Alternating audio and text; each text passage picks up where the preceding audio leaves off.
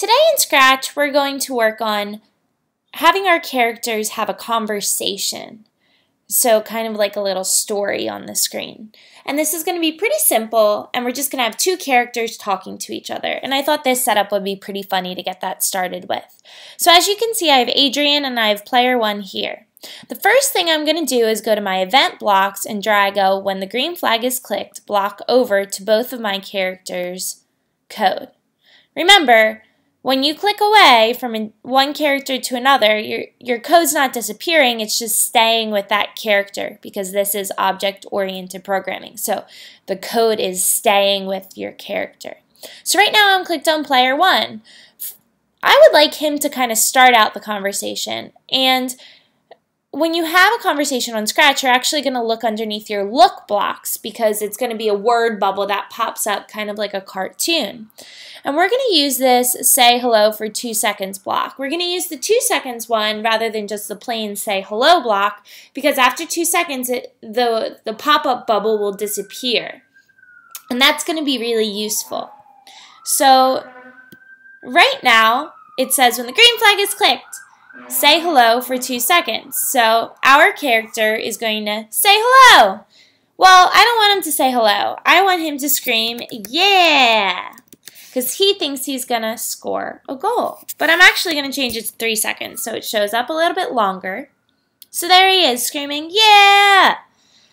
And I want Adrian to say something back to that.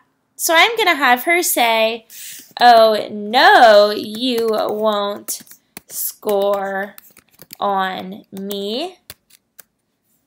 And if I have her say that, both characters will speak at the same time. So there's another thing that we need to add here. We need to add what is called control blocks. We need to add a wait. So our player one says yeah for three seconds.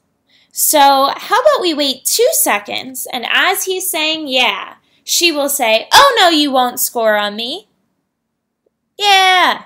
Oh no you won't score on me. See? So we're able to start having a conversation and I think you'll start to pick up that we're going to use these wait blocks to make our conversation go back and forth. So now I'm going to go back to my player one. I'm going to add a wait. And now I need to count my waits up. So I have a two second wait here.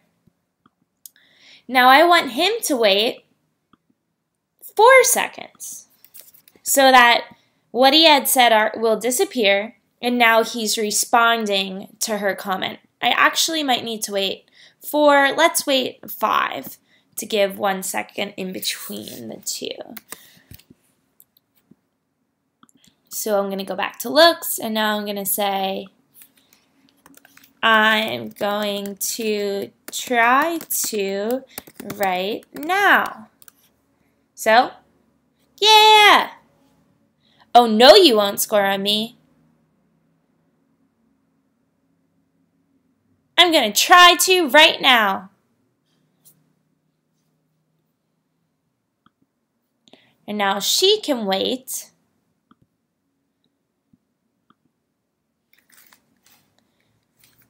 Six seconds, and she will say,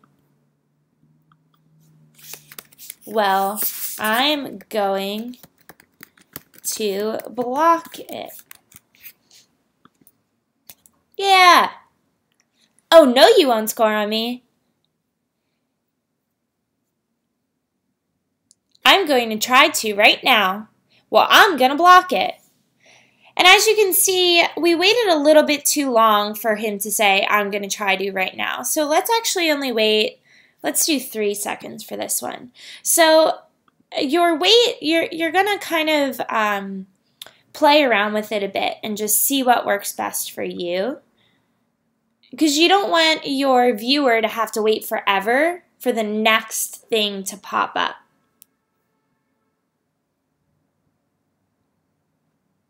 Okay?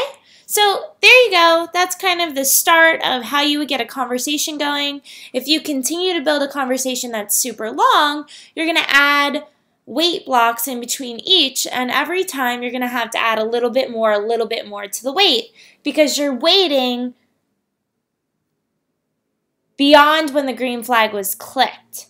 Because otherwise, without the wait blocks, all of these things would be said at the exact same time. And you don't want that to happen. You want there to be a conversation there where they go back and forth. Hope this was helpful. Uh, good luck giving it a shot. Let me know how it goes.